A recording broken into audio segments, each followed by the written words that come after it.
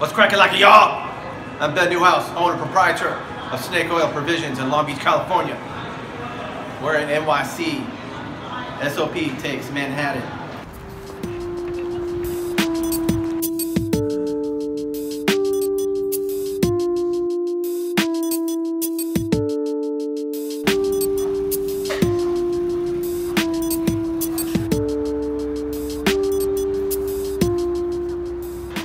This is Andrew Chen from 3sixteen. You're, you're blocking it, homie. Oh, yeah, here you go. This one. We saw fall, fall, winter 17, It was all right. and my brain fell out, is what happened. It was okay. Cause you, well, you managed to outdo yourself. Because we said last fall was your best.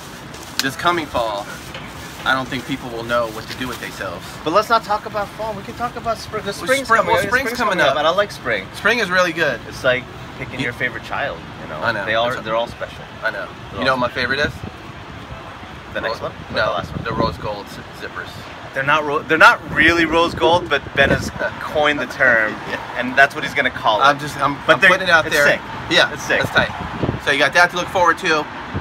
Spring's coming up very, very soon. This, this this guy this is dropping. jacket. very soon, even sooner.